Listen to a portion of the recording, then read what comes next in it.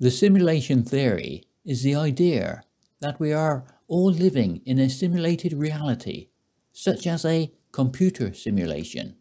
It is an idea of the computer age.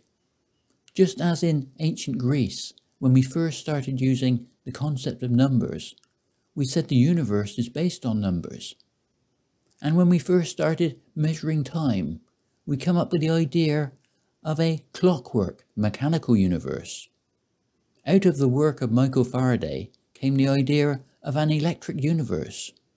But what is needed is a concept of the universe that can create the potential for all these things, plus conscious awareness. The simulation theory does not do this, because there would have to have been a first simulation that came out of physical reality. Therefore, any computer simulation, however advanced, would have to be based on the laws of physics.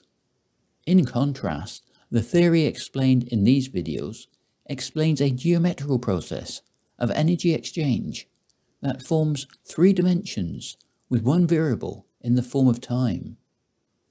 Light photon energy is continuously transforming potential energy into the kinetic energy of matter in the form of electrons.